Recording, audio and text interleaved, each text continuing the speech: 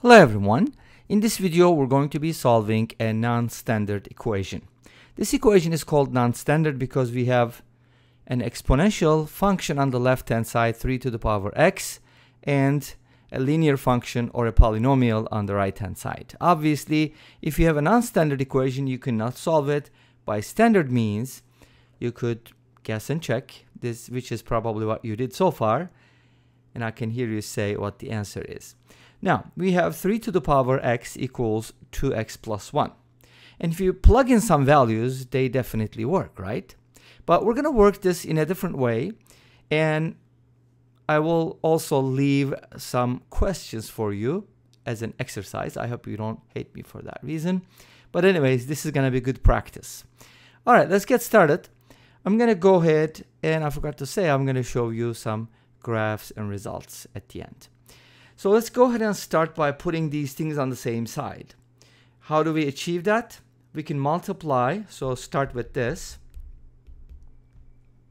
Probably leave some space there. And multiply both sides by 3 to the power negative x. And what that'll do is give you 1 here because those are reciprocals or you can think of it as 3 to the power 0 which is 1 so we get 2x plus 1 multiplied by 3 to the power negative x equals 1. Great. We got everything on the same side, but we need to adjust this a little bit more. So I'm going to be taking a bunch of steps. In every step, I'll tell you what I'm doing, and you'll see the reasoning, hopefully, towards the end. Okay? So first thing I'm going to do is the coefficient of x here is a 2, but here it's a negative 1. So they don't seem to be matching well. I want them to be the same. So I'm going to go ahead and divide both sides by 2. For, so I guess you could consider this the second step. Divide both sides by 2. That'll give you 1 half here.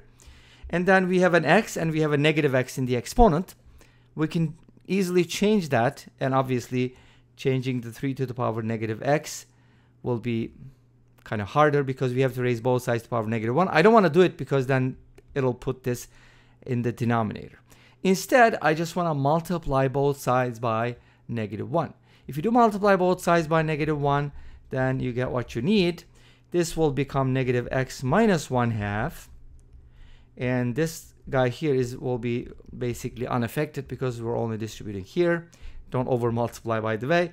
And the right hand side is just going to be negative 1 half. Easy, right? So far so good. Hopefully you are following. Now the next thing I want to do is I got negative x minus 1 half here and I got negative x here. They need to be the same. You get the idea? Uh, I know some of you already figured out what, what I'm getting at, but don't say it if you know it.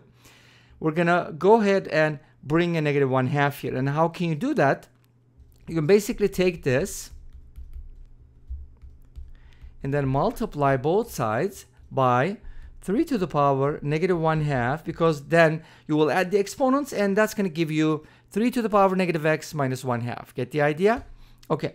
So, of course, we have to do the same thing on the right-hand side, multiply negative 1 half by 3 to the power negative 1 half. So whatever we do on one side, we do it to the other side so that our equation is unchanged. Obviously, that's an equation. If you change it, it won't be an equation anymore. So now we got this so far, and we're very close to the result, but let's go ahead and combine these two things negative x minus 1 half multiply by 3 to the power negative x minus 1 half. You get the idea? The number that multiplies 3 to the power of something is the same thing as the exponent of 3. Great. And now this can be simplified a little bit because this is 1 over 3 to the power 1 half, which is 1 over root 3. So we can write this as negative 1 half multiplied by 1 over root 3. Okay. Don't worry, we're going to rationalize the denominator and we can even do it now.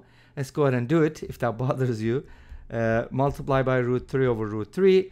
That'll be a 3. Multiply by 2. That's going to be a 6. So you're going to get negative root 3 over 6 in the simplest form. Nice. We're super close to the result. The only thing we need to change now is to change the base.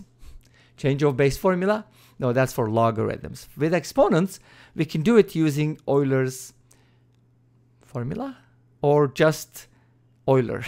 Euler's number is e, right? So we're going to use e here. And obviously, 3 can be written as e to the power ln 3. So if you go ahead and do that, replace 3 with e to the power ln 3, you're going to get negative x minus 1 half times e to the power ln 3 to the power negative x minus 1 half. And notice that I haven't really done anything. I just wrote 3 as e to the ln 3. So I'm not doing anything on the right hand side. Make sure you don't overdo it or do something that you're not supposed to do. Now, we can go ahead and multiply these. These are exponents. So we can kind of write this as negative x minus 1 half times e to the power, and I'll probably write it as this expression inside the parentheses times ln 3. I'll put the ln 3 last, okay? Cool. Now we still have negative root 3 over 6 on the right hand side. And what are we going to do with this, okay? So here's what we need to do next. Sometimes the pen will just act up. I guess static, electricity, whatever. And here's what we need. We wanted to bring it into a form that looks like t e to the t, and I'm going to apply a very special function on this. Did you guess what it is? Yes, it's called Lambert's W function. I know some people hate it. I don't know why. I used to hate it, but now I like it. It's kind of like using a calculator. I know some people, you don't get an exact result and there's no explicit form of expressing it except for the function of like, let's say, uh, we have f of t equals this, and then Lambert's w would basically be f inverse. So yeah, it's kind of hard to express in closed form, but it's helpful in so many situations. Anyways, think of this as an algebraic exercise. And now the only thing we need is to bring it to the form te to the t. We're missing our ln3 here. So we're going to multiply both sides by ln3 next and that'll do the trick. All right. So now our expression is in the desired form and we're going to go ahead and W both sides. Let's do it. Okay. Put a giant W here.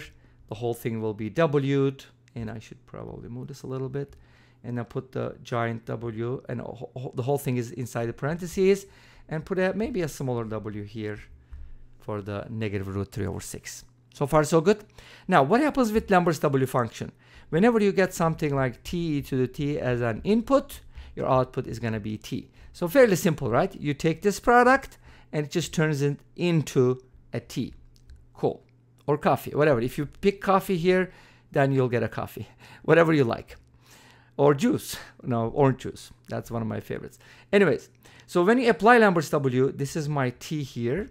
So it's going to give you negative x minus 1 half multiplied by ln 3 equals w of negative root 3 over 6. Of course, we got something nice on the left-hand side, but not something nice on the right-hand side. We got to do a little bit of work, and that might seem kind of like unnecessary, but I, again, this is exercise, because in math, a lot of times you have to put things in different forms. So make it like workable, right? So make it easier to work with.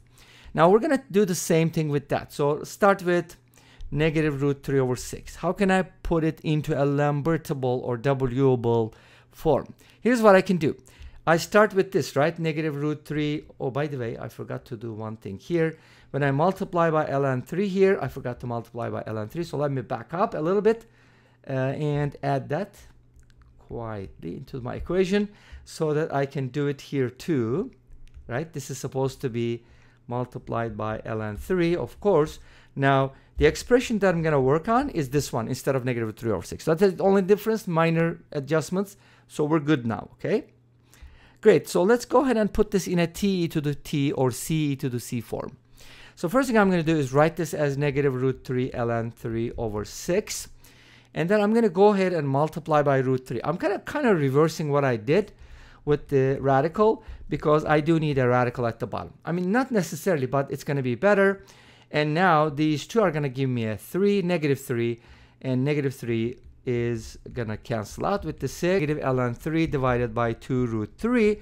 And now I want to write it as uh, negative 1 half times negative 1 half times 1 over root 3 times ln 3. Here we go. And then take this negative 1 half, put it over here as an exponent. I, I should probably switch those around, but you get the idea. And kind of write this as follows. This gives me 1 over root 3 multiplied by ln 3 to the power negative 1 half. And now 3 to the power negative 1 half is just ln 1 over root 3. We're almost there. Now we can go ahead and write this using the natural log. 1 over root 3 can be written as basically as follows. ln 1 over root 3 times e to the power ln 1 over root 3. So this is replacing that. And now I can use w on this and guess that what that's going to give me ln 1 over root 3, right? Awesome. This is beautiful. Now what I can do with this is I can just set it equal to the other stuff. What did I get from the other expression?